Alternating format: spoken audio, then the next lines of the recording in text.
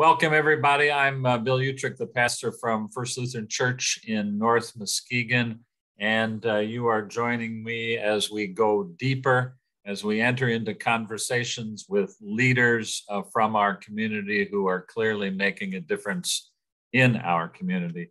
And today we have with us Dr. Justin Grill, who is the Chief Medical Officer for uh, Mercy Hospital. Thank you, Dr. Grill, for uh, joining us, and thank you for uh, your commitment to making this community a better place. Thanks for having me. Happy to be here. Uh, you're described as a chief medical officer. What in the heck does that mean? So the, the chief medical officer of a hospital kind of has uh, one foot in the administrative world and one foot in the medical staff clinical world. So I'm the liaison, you can kind of think about it this way the liaison between the medical staff and the hospital administration. So, uh, my job is to uh, help coordinate different endeavors with the medical staff. I oversee quality and safety at the hospital. Um, so, that's really what I do here locally. How long have you been doing that? Well, I probably have the world's worst timing when it comes to new jobs. I started this um, technically in February. So uh, if you remember, COVID really broke out in March yes. of 2020. Uh, I started this job officially in February of 2020. Wow. Wow. Well, again, thank you for your willingness to take on that responsibility. Uh, since you brought up the beginning uh, of your arrival just before the beginning of COVID, uh, perhaps you could talk a little bit about how life at Mercy Hospital has been since uh, the arrival of the pandemic? What what what is the what is the character of life there uh, now, and has and what has it been like there? Uh, it's been difficult. It's been strained. There's no question, and it's it's been a bit of a roller coaster. So you think about March when everything in the world shut down, including a lot of healthcare uh, yeah. shut down. Now we never did at the hospital, of course. We still have to provide care for patients who need urgent or emergent care. So while everything else in the world was shutting down and, and people were at home, uh, I was here for at least 12 hours a day, seven days a week, trying to figure out how we're going to manage through this pandemic that we don't know anything about. Uh, so I had a very different experience. Most people, you know, when you talk with them about that early isolation and everything else that they felt, it was the exact opposite for me. I was I was never home. Um, I mm. was never seeing my family. I was at work a lot, and that's true of pretty much everybody who worked here at the hospital. You know, we kept going through all of this. Uh, but the interesting thing is, some parts of healthcare did slow down in regards to elective stuff. So initially, we had a lot of help. So when we had that first surge of, of COVID come through in that spring of 2020, there were a lot of extra hands to go around because of the areas of healthcare that had either slowed down or shut down. Um, there were people who were able to help provide care for patients that were able to come to the hospital and help with that provision of care. A similar thing occurred in the really major surge that we had last fall in uh, November and then it lasted into December, uh, we had over 150 inpatients at this hospital with COVID at that time. It was it was crazy. On, a, on an average day, if we're busy, we might have um, between Hackley and Mercy previously averaged maybe 230, 220, 240, depending on the day inpatients. So when you're talking about 150, uh, you're saying two thirds of our traditional patient population maybe were just one diagnosis, and that was COVID, and we still had everything else that we had to try to provide care for. Wow. So that was a crazy time. We had a, another surge then this past spring where we got up to in the 80s of, of COVID inpatients, and then the surge we're seeing now where we've been in the upper 40s. The difference now being nothing else in healthcare shut down. All the offices are open. All your therapists are doing their regular work. So there's no one to help right now. So you, if you read the news, you pay attention to the news, you see that there's a nationwide shortage in healthcare workers, and we're experiencing that here in Muskegon too. So we're seeing our numbers go up, but we don't have the extra hands to come in and help support. And so it's really straining healthcare right now to a very significant degree. So uh, right now, you're saying that um, there are about 40 patients in the hospital who have COVID? This morning we had um, mid 30s. Our peak at, so far this this round that we're going through, our peak was in the upper 40s. Right now we're in about the mid 30s. Okay. And and the rumor in the community is that the hospital is almost always full. Is that true? And is that it sounds like it's not so much due to COVID as it is due to the fact that other procedures are now going on and they didn't go on during the shutdown. Is that true? So the interesting thing about this is, and I was talking with another physician about this just before we got on, I got on this interview, um, is that what we're seeing is this is mostly medical admissions. We're being very careful with our our inpatient surgical procedures to not exceed capacity. So those are somewhat limited right now because of this. But I just told you our floors are 30 beds here at the hospital. So we're just over one floor of COVID patients where we are right now today that alone shouldn't be a huge issue where we're talking about how many surgeries can we actually do. The issue is all these other medical patients that are coming in that are very, very, very ill and needing to be admitted. At first, we thought this was just a, a post COVID surge that for about a year, there were people who had difficulty accessing primary care yes. or maybe were afraid to come out and, and access care. And we thought, boy, there's a lot of people with high blood pressure and high blood sugar and things like that that it got away from them when they didn't have their normal doctor visits for that period of time. Right. If, if, that was the case, you would anticipate that you would eventually work through that and you would get back to normal state. But we're not seeing that. This is this is continuing where the primary issue is the non-COVID but medically ill patients that we're seeing, and some of them surgically ill, yes, but mostly it's the medically ill right now. So it's an interesting period to work through where uh, if we didn't have those 35 COVID patients, if we were, let's say, five or eight like we were this summer, it would be no problem. We'd have ample beds that we could easily tolerate this surge in medical acuity. But the fact of the matter is, we're trying to deal with a surge in medical acuity at the same time that we're seeing another surge in COVID admissions. Yeah, that's very helpful analysis. Um, is it true that what we that what we hear in the media that the sickest patients and the ones who, uh, the sickest patients from COVID and, and the ones who are dying from COVID are the unvaccinated. Is that your experience here in Muskegon?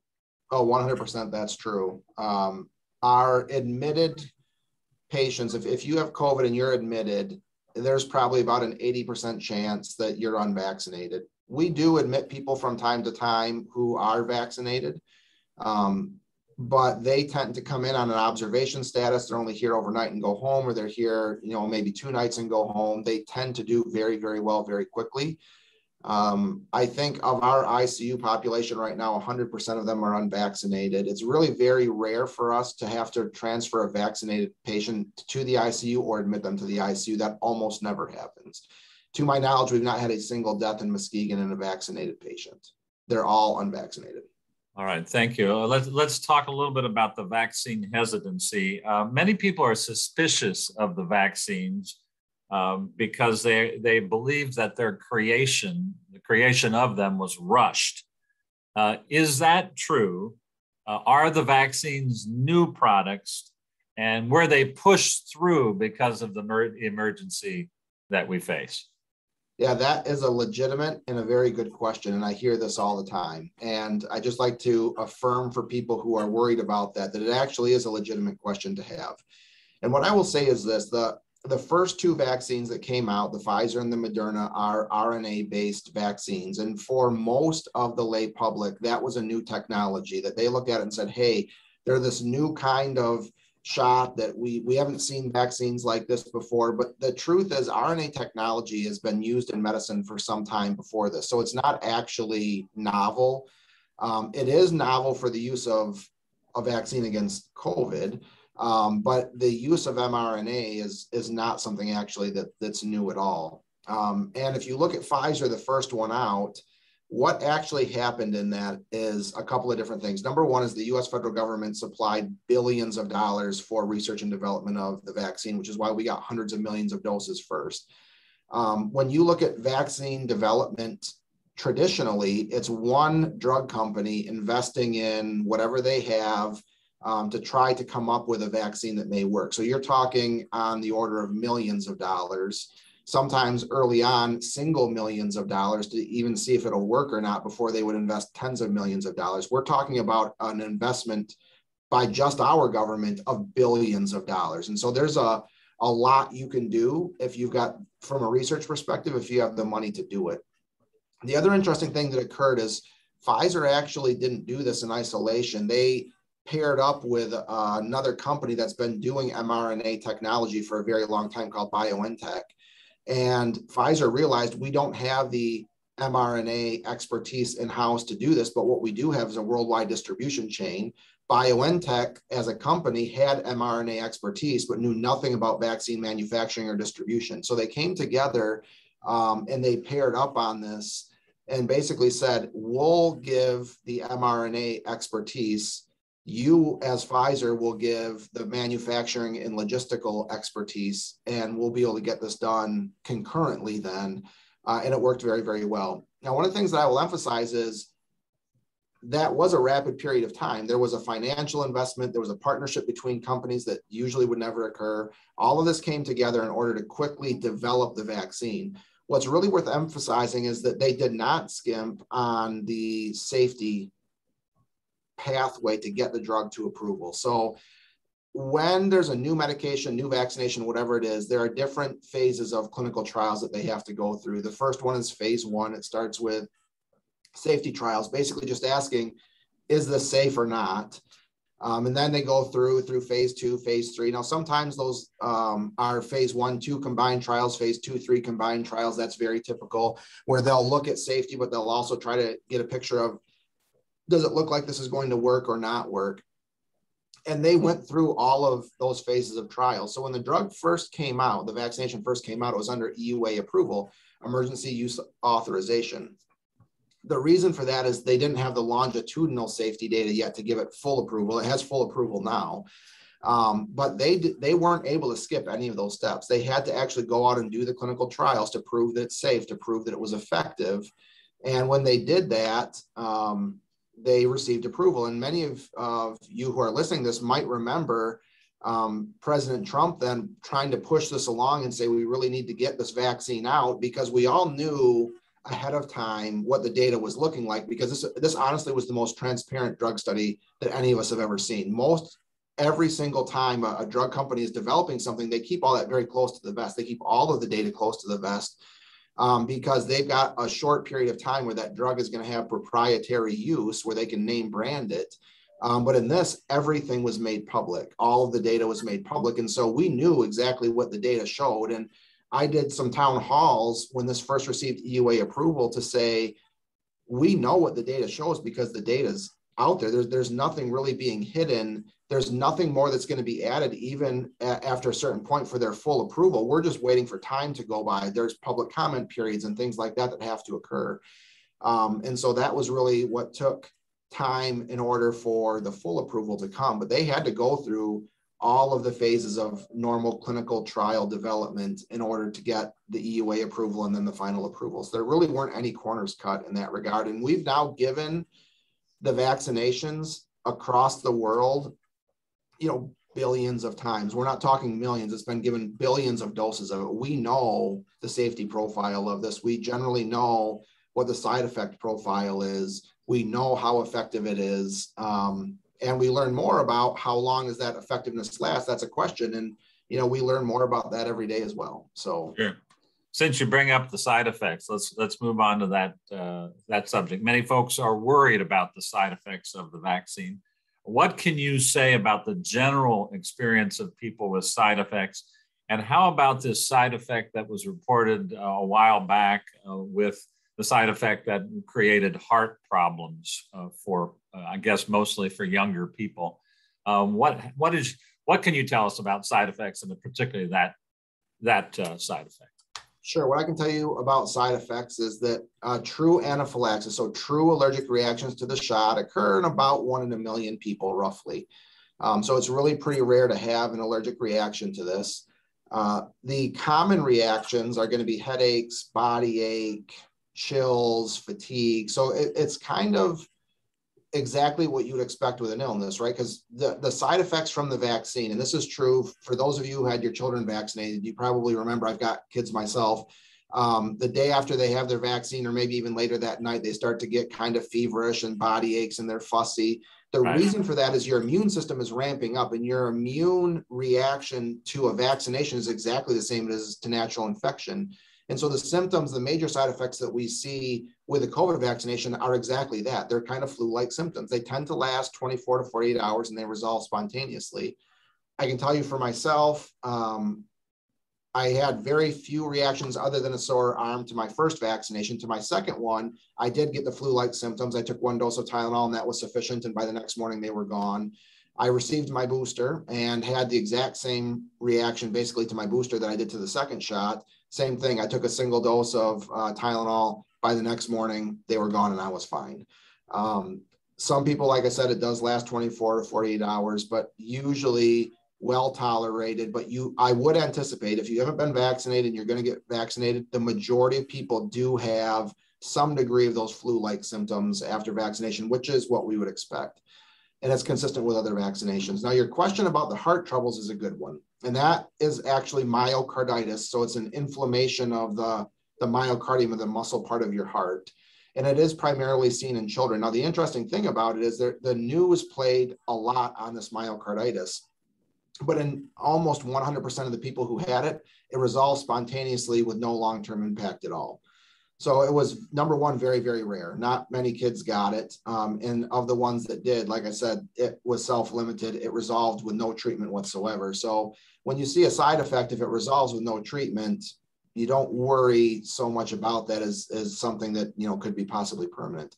I have a child myself that's in the 12 to 15 year old category, and we had him vaccinated. He tolerated it well. Now, if you had a child, I don't know if you do, uh, between ages of five and 12, and, and it appears that soon that vaccines might be uh, available for them, would you vaccinate that child?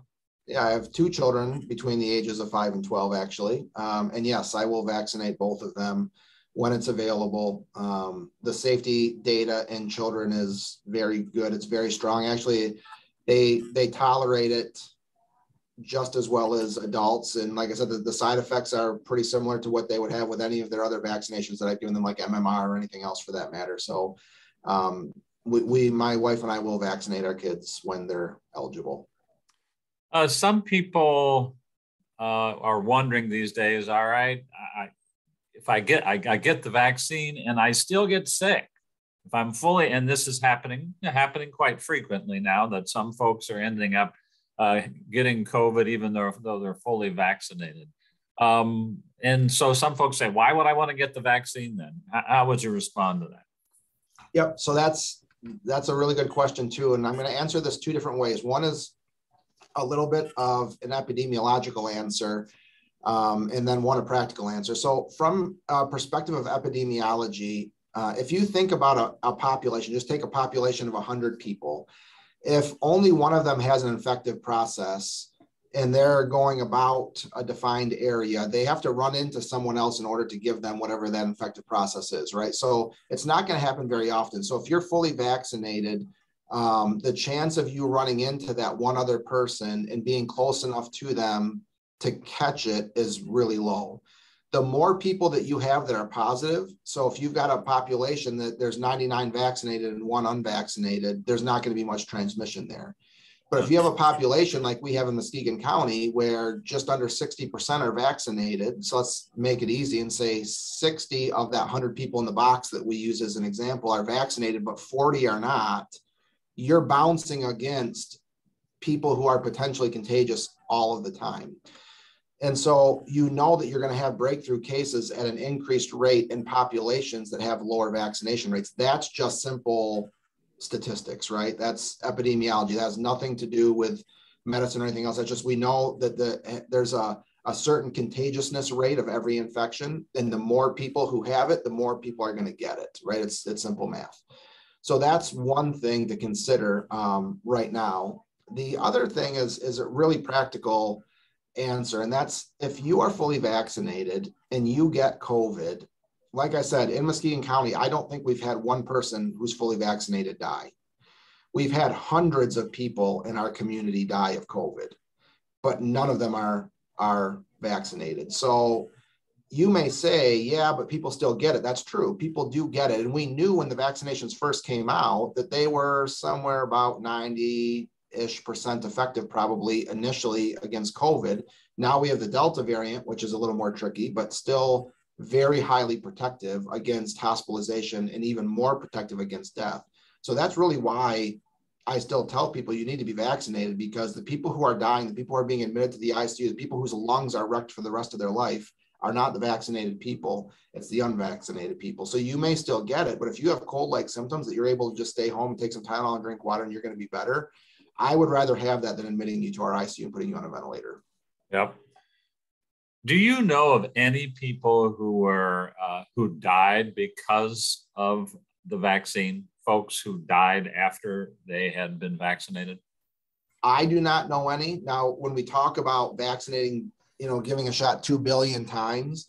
Is there a chance that somebody has died because of the vaccine? Sure, there's a chance of that.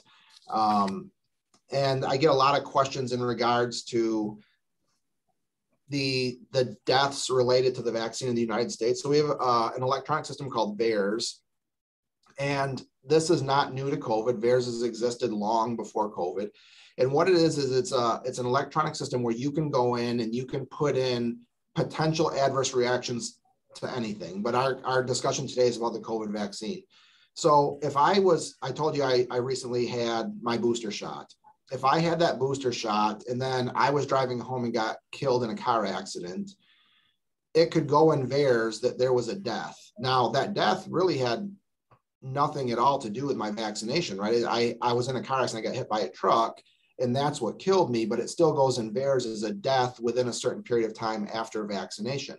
So the question is, well, why would they do something like that? Well, then you say, well, is the reason I was in a car accident because I was dizzy? And yeah. is dizziness yeah. a side effect or, you know, whatever else? And so what we look for in VAERS is called a signal. This is another epidemiological term, but we look over all of the data and we look and see, is there a signal that would suggest that there's a consistent side effect as a result of the shot?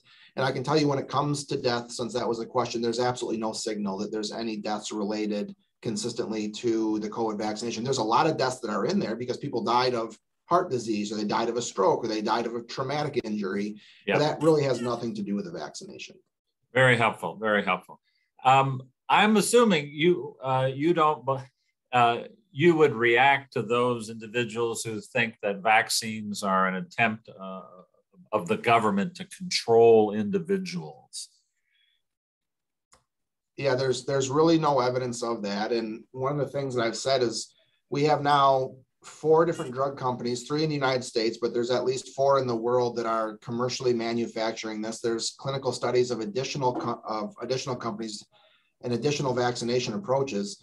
So the coordination of the effort um, required to participate in a nefarious activity like the government controlling people would have to be massive because you're um, they're they're manufactured in different places. Like the Pfizer one is manufactured in Kalamazoo. We probably all know people who either work at the factory or have worked at the factory in Kalamazoo yeah. for Pfizer, right? Yeah. So it's not like these are being manufactured in some location, you know, in Russia or something like that. That you know they're, they're then importing them to the United States. The other thing is we've been giving the vaccine now for 10 months, right? So those of us who were vaccinated early on in healthcare are showing no ill effects of, of this whatsoever. Um, and I guess the last thing I've said, you know, people said, well, they, they, there's a microchip in there that is going to track you. And I tell people, well, they're going to be really bored tracking me between home and work um, and my kids' sporting events and stuff like that. I mean, there's, I, I don't know what the utility of that would be really, but no, I'm not terribly worried about a concerted governmental effort to control yeah. the population through vaccination.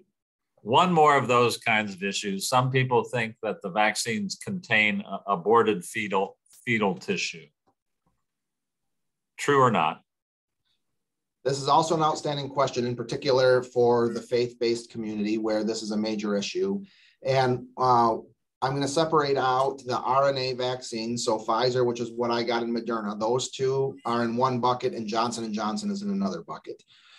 So there are uh, aborted fetal cell lines that have been propagated from abortions in the 70s and 80s that are used in some medical research there are some approaches to vaccination that involve uh, viruses, and the Johnson and Johnson is one of those. So it's an adenovirus vector that they use for vaccination, and that vector is propagated through aborted cell uh, through uh, aborted fetal cell lines. So if you want to avoid, and that is not true in either Pfizer or Moderna. So those two are not uh, aborted uh, cell lines are not used at all in the manufacturing of those two vaccinations. So if your concern is, I do not want a vaccination where aborted tissue was used in the propagation and the creation of the manufacturing of, of my vaccination, then don't get the Johnson and Johnson because it is. Um, choose Pfizer or Moderna.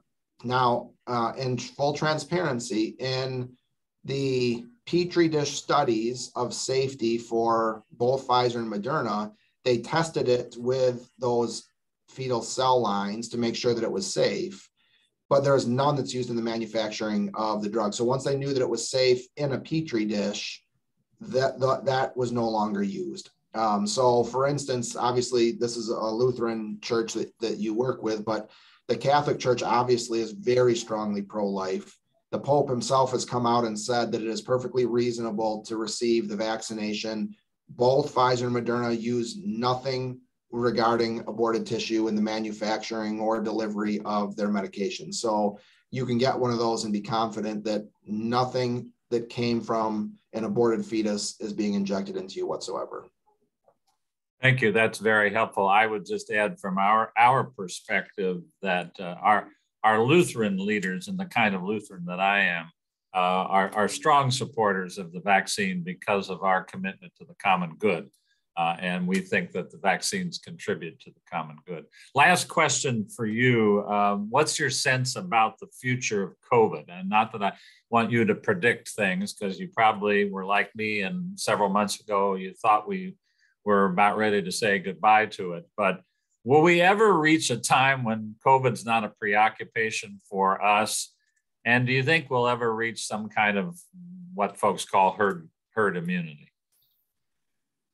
Yeah, that's a great question. I get that all the time. I say, I wish I had a crystal ball and I could predict the future. If I did, I wouldn't probably still have the job that I have now because I could be retired somewhere uh, and just predict things. But my best, my best guess is that yes, someday this is going to be normalized. Um, I don't think COVID is ever going to go away unless it were to mutate into a form that no longer infects humans um, it's going to be like influenza. You know, when influenza broke out, it's it's with us all the time. You can be vaccinated against it and lower your risk of getting it, and if you do get it, lower the severity of it, or you can choose not to be vaccinated. And I think we're going to come to the exact same thing with COVID, where it's going to circulate. It's going to be um, a seasonal infection, just like influenza. You can choose to be vaccinated and protect yourself or not. I think long term, that's where we're going to land. The truth of the matter is, in the United States, we're never going to convince 100 people, 100% of people to get vaccinated against. It's just like we can't convince 100 people to get vaccinated against anything else. I mean, even when polio first that vaccine came out, people would rather risk living the rest of their life in an iron lung than being vaccinated. There was a very small percentage of the population that were like that then. There's a much larger percent of the population that are like that now. Um, but I do think that that's probably where we're eventually going to land is that it will be a, a communicable infection just like influenza and people can choose to be vaccinated or not. Now, the caveat to that is it will continue to mutate. Obviously, COVID is pretty efficient at mutating, and we're giving it plenty of opportunity to do so. Um, if it were to mutate into something that was more deadly um, or more severe as far as a higher percentage of people needing to be admitted or admitted to the intensive care unit, that may change from a public health perspective how we manage it. But short of that, that's where I see this going.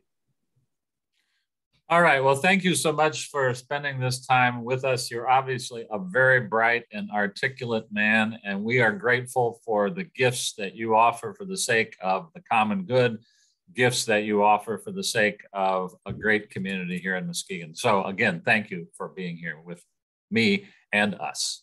No problem. And if uh, any of your listeners happen to have further questions, feel free to let me know. I'd be happy to uh, to answer them. Thanks so much.